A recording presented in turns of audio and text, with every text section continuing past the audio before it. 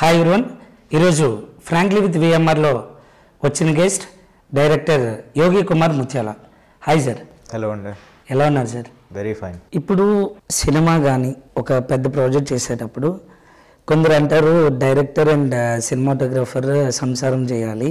అంటే సంసారం in the sense like వాళ్ళ జర్నీలో వాళ్ళిద్దరి మధ్యన బాండ్ ఉండాలి.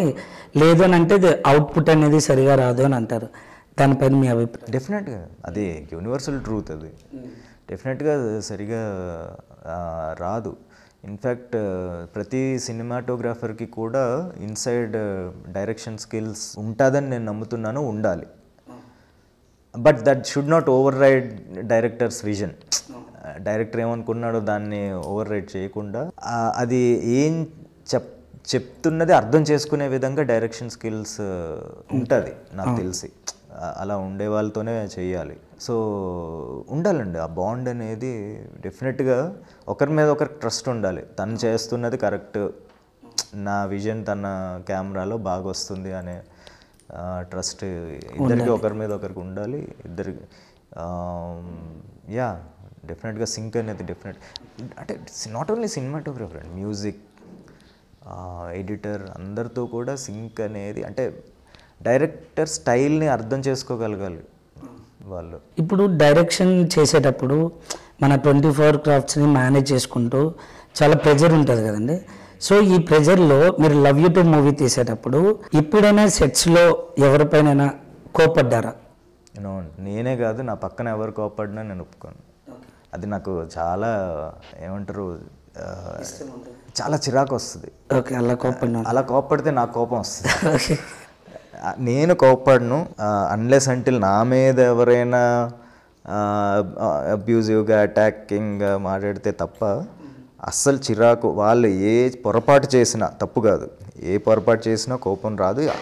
ఆ పొరపాట్లకి నా పక్కన ఎవరైనా ఏమో చిన్న టెక్నీషియన్స్ని అరిచినా తిట్టినా నాకు చాలా కోపం వస్తుంది. అసలు వద్దు. ఆ ఎన్వైరన్మెంటే నేను ఎంకరేజ్ చేయను. చాలా అంటే కొన్ని జరిగాయి కూడా. నేను చెప్పాను. ఇది రిపీట్ అవ్వకూడదు. నాకు అరుపులు కేకలు కోపం తిట్లు వింటే నాకు మెంటల్ వచ్చేస్తుంది నాకు అలా ఉండకూడదు అనమాట ఫన్ ఉండాలి. సెట్లో ఫన్ ఉండాలి. సీరియస్నెస్ ఉండొచ్చు. బట్ కోపం అనేది నాకు చాలా చిరాకు.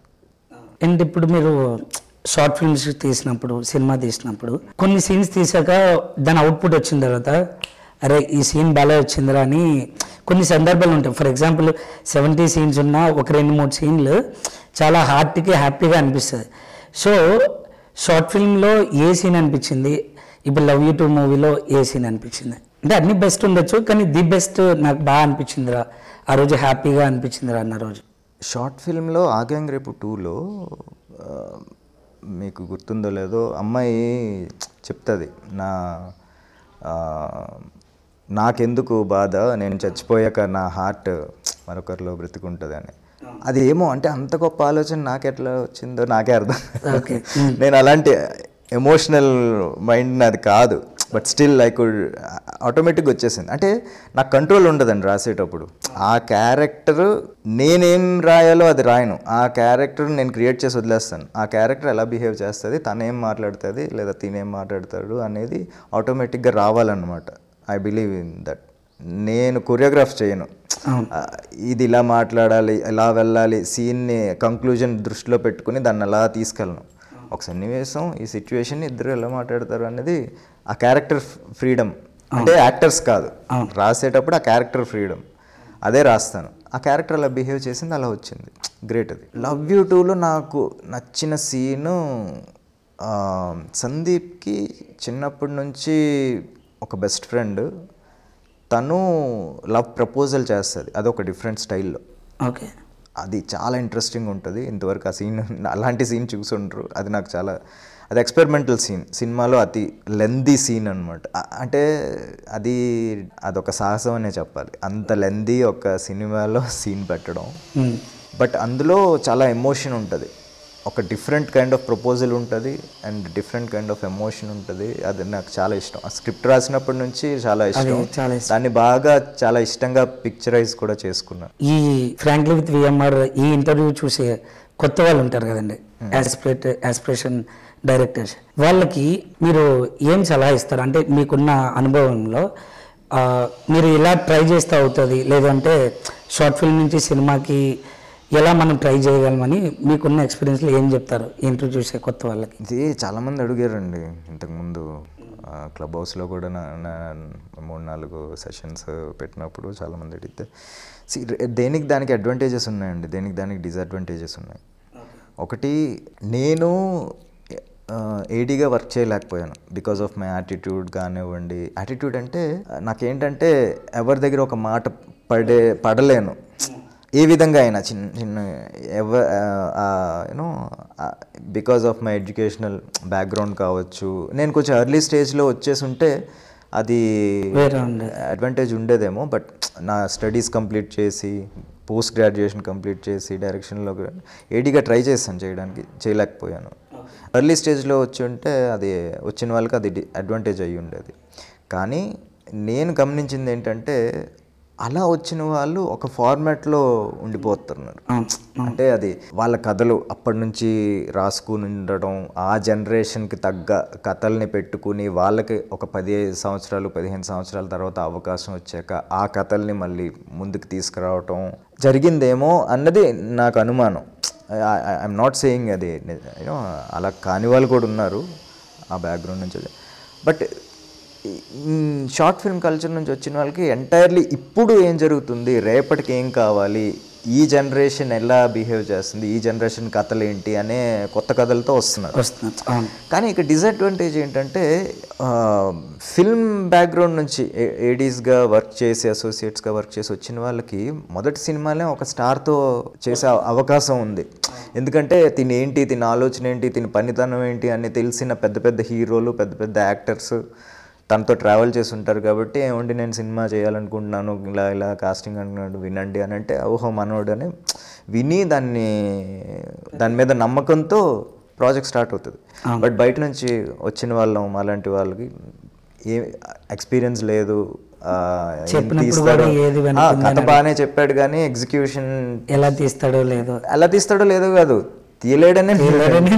అనుకుంటారు. యూనో నమ్మకం ఉండదు. అదే ఎందుకు ఉండాలి? నేనైనా సరే నమ్మలేను. అది చాలా కష్టం కన్విన్స్ చేయడం అది. అందుకనే షార్ట్ ఫిల్మ్స్ వచ్చాయి. బట్ ఆ పరిచయాలు ఉండవు. కాంటాక్ట్స్ ఉండవు. కొత్త వాళ్ళతోనే చేయాలి. మొదటి సినిమా రెండో సినిమా మూడో సినిమా. ఆ కొత్త వాళ్ళతోనే చేసిన you cannot become a star film director అనిపిస్తుంది నాకు. యూనో ఆ ఏడీస్ నుంచి వచ్చిన వాళ్ళు మొదటి సినిమా హిట్ పడగానే ఒక రేంజ్ లేదా మొదటి సినిమాలే పెద్ద పెద్ద హీరోతో చేయొచ్చు హిట్ అయితే ఒక రేంజ్ వస్తుంది. మన ఈ షార్ట్ ఫిల్మ్ నుంచి వచ్చిన వాళ్ళకి చాలా మంచి సినిమా తీసినా అగైన్ స్ట్రగుల్ ఉంటుందేమో. ఈ పెద్ద యూనో స్టార్స్తో చేయలేకపోవడం కమర్షియల్ ఫార్మాట్లో చేయలేకపోవడం ఈ కొత్త కాన్సెప్ట్స్తో కొత్త వాళ్ళతోనే కంఫర్ట్ జోన్ అంటే సింక్ అవ్వదండి. ఆ పాత వాళ్ళకి భయ భయం ఉంటుంది మెయిన్ నాకు కూడా ఉంది. అరే పెద్ద యాక్టర్లతో చేయించుకోవాలి అని అంటే మనం ఈ సినిమా ఫీల్డ్ కాదు కదా మనల్ని నీకు తెలియదులే అని ఒక మాట అనేసారు అనుకోండి. నీకేం తెలుసు అని ఒక మాట. ఆ భయం ఉంటుంది. సెట్స్లో ఏమైనా ఆ మొరాల్ మిస్ అవుతుంది. నాకైనా టే అదర్ టెక్నీషియన్స్కైనా. సో ఒక స్టేజ్ వచ్చినంత వరకు ఆ ధైర్యం చేయలేం అనిపిస్తుంది. సో ఆ- రెండు డి అడ్వాంటేజెస్ అండ్ డిసడ్వాంటేజెస్. అంటే కొత్తదనం ఒకటి షార్ట్ ఫిల్మ్ నుంచి వచ్చిన వాళ్ళు న్యూనెస్ ఉంటుంది ఓల్డ్నెస్ ఉండదు flavour. But at the same time you know stardom ఏదైతే కోరుకొని వచ్చి ఉంటామో సినిమాకి ఏది మనకి మోటివేట్ చేస్తుంది ఫస్ట్ పేరు కావాలి అందరూ నన్ను గుర్తించాలి అందరూ నా సినిమా గొప్పగా అది చాలా లేట్గా వస్ వస్తుంది అనిపిస్తుంది. ఇప్పుడు స్క్రిప్ట్స్ రాసుకునేటప్పుడు కొంతమంది అరే మన బడ్జెట్ బౌండరీలోనే రాసుకోవాలి. కొందరు ఏంటంటే లేదు స్క్రిప్ట్ మనం రాసుకోవడమే ఆ స్టోరీ బట్టి ఎంతైతే అంత ఉన్నో రాసుకుంటారు. సో మీరు ఏది ఫాలో అవుతారు? అంటే ఇట్స్ లైక్ ఒక స్టోరీ రాసుకునేటప్పుడు అరే నా బడ్జెట్ సిక్స్టీ ల్యాక్స్ లోపే. కొందరు ఏమొచ్చి లేదు ఈ స్టోరీకి ఈ క్యారెక్టర్స్కి ఎంతైతే అంత ఉని ఆ విధంగా రాస్తారు. సో మీరు ఎక్కువ ఏది ఫాలో అవుతారు? నాకైతే ఎంతైతే అంత అవ్వని నేను అనుకున్నది ఎగ్జిక్యూట్ చేయాలి అనుకునే ప్రొడ్యూసర్తో వర్క్ చేయడం నేను నా పర్సనల్ ఇంట్రెస్ట్ ఓకే. ఫ్యూచర్లో దొరకచ్చేమో అలా బట్ ఇప్పటికీ అలాంటి పరిస్థితి లేదు కాబట్టి ఎందుకంటే నేను ఇందాక చెప్పినట్టుగా నేను అసిస్టెంట్ డైరెక్టర్గా ఆ ఫార్మాట్లో రాలేదు కాబట్టి మన మీద నమ్మకం ఉండదు కాబట్టి లిమిటెడ్ బడ్జెట్సే ఇస్తారు. ఏంటి నువ్వు? నువ్వు ఇంకా ప్రూవ్ చేసుకోలేదు. అవకాశం ఇస్తున్నావు అంతే. అని ఆ లిమిటెడ్ బడ్జెట్లోనే చేయమంటారు కాబట్టి నేనే కాదు ప్రతి ఒక్కరు చేసుకోవాల్సిన యూనో ఇది జాగ్రత్త పడాల్సింది ఏంటంటే రైటింగ్ స్టేజ్లోనే దాన్ని కంప్రెస్ చేయాలి బడ్జెట్ని చాలామంది రాసినప్పుడు ఓ లొకేషన్ ఈ లొకేషన్ అనుకున్నాను. క్రియేటివిటీ మనకి లిమిట్స్ ఉండవు కదండి. ఈ లొకేషన్ అనుకున్నా ఈ కాస్ట్యూమ్ అనుకున్నా ఈ డ్రెస్ అనుకున్నా ఈ బిల్డప్ అనుకున్నా ఈ బైక్ అనుకున్నా కార్ అనుకున్నా చాలా రాసుకుంటారు. కానీ ఎగ్జిక్యూట్ చేసినప్పుడు ఆ బడ్జెట్ ఉండదు కదా. ఎస్పెషలీ షార్ట్ ఫిల్మ్ నుంచి వచ్చిన వాళ్ళకి ఏంటంటే ఆ లెక్కలు తెలియవు. ఫిల్మ్ బ్యాక్గ్రౌండ్ నుంచి వచ్చిన వాళ్ళకి ఆ స్క్రిప్ట్ రాస్తున్నప్పుడే అరే దీనికి ఇంత అవుతుంది దీనికి బిల్డింగ్ తెలిసిపోతుంది. సో అది చూసుకోవాలి. రాసినప్పుడే బడ్జెట్ నాది ఇంతే ఉంది. లొకేషన్స్ ఎలాంటి లొకేషన్స్లో చేయాలి? అంటే దాంట్లోనే ఎఫెక్టివ్గా డైరెక్షన్ స్కిల్స్ని యూస్ చేస్తూ ఎలా చేయాలి అనేది జాగ్రత్త తీసుకోవాలండి. స్క్రిప్టింగ్లోనే చే తీసుకోవాలి. అంటే మనకైతే ఎక్కువ బడ్జెట్ ఉంటే నాది ఫుల్ ఫ్లెడ్జ్డ్గా నేను అనుకున్న విజన్ ఎగ్జిక్యూట్ చేయాలని అనుకుంటాం. కానీ అలాంటి పరిస్థితి లేదు కాబట్టి స్క్రిప్ట్ నుంచి జాగ్రత్త పడాలి. నేను కూడా ఎంత జాగ్రత్త పడినా అది చేయలేకపోయాను. డెఫినెట్గా మేము నేను అనుకున్న బడ్జెట్కి కొద్దిగా ఎక్సైజ్ అయిందా? కొంచెం కాదు చాలా ఎక్సెస్ అయింది.